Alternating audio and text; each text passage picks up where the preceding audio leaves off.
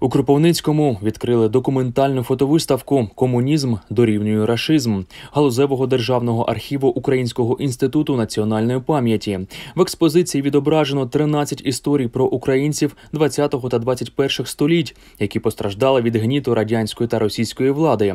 Фотовиставку вже показали у Києві, різних містах України та за кордоном. У Кропивницькому експозиція триватиме до 21 лютого. Ми хотіли показати дві речі: перше, що непокаране зло зростає, тобто незасуджений комунізм призвів до сучасних подій. А з іншого боку, що нам треба розуміти, що основне завдання росіян це е, геноцид проти українців. І е, за 100 років їхньої діяльності форми і методи е, не змінилися. І все вказує на те, що вони хочуть знищити все, що пов'язано з Україною, з українським і з українцями.